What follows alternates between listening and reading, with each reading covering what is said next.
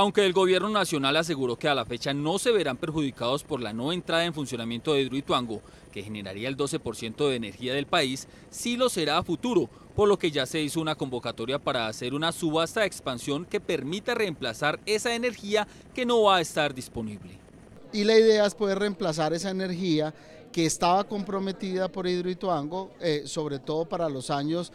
final del 21, 22 y 23, que es un poco el tiempo que se podría tomar en entrar nuevamente en operación eh, el principal proyecto eh, o el proyecto de Hidroituango. Ante la decisión de la Agencia Nacional de Licencias Ambientales, ANLA, de suspender temporalmente la licencia de construcción de Hidroituango, el ministro de Minas y Energía destacó que se hacía necesaria, dado que el proyecto que EPM tiene hoy en sus manos no es el mismo que les aprobaron en el 2009 por las intervenciones realizadas.